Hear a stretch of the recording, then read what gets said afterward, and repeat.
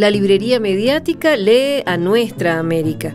Y para celebrar a Carlos Monsiváis de México, recordamos su último libro, Las leyes del querer, y escuchamos al personaje mexicano que inspira ese libro, Pedro Infante. Amorcito corazón, yo tengo tentación de un beso que se prenda en el calor de nuestro gran amor, mi amor. Carlos Monsiváis tenía constantemente a México como referencia en su obra como escritor y periodista y tenía un humor inteligentísimo. Nació en México en 1938 y murió en su país natal en 2010. Sus libros y artículos periodísticos son esenciales para conocer el alma mexicana.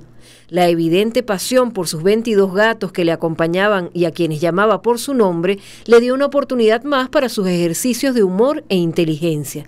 Solo a Monsiváis se le ocurriría ponerle como nombres a algunos de sus gatos, Carmelita Romero, Fray Gatolomé de las Bardas, Monja Desmatecada, Miau Setún, Miss Oginia, Miss Antropía, Katzinger, Peligro para México o Maullas.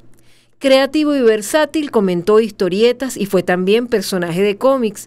Uno de sus libros más interesantes es Aires de Familia y el más reciente, dedicado a Pedro Infante, Las leyes del querer, fue comentado por el propio Monsiváis así. El ser humano, Pedro Infante, que me interesa, que me importa, está en sus películas. Él fue muy autobiográfico en sus interpretaciones. Esa era la humanidad de Infante que me resultaba en verdad fascinante.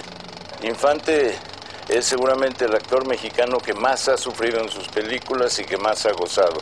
Ese ir al límite eh, le ha permitido retener al público, multiplicarlo e irlo cambiando con cada generación. Para mí, Infante es en gran medida un infante desconocido porque no se ha querido ver la audacia interpretativa o, o no se ha revisado con el cuidado suficiente su filmografía.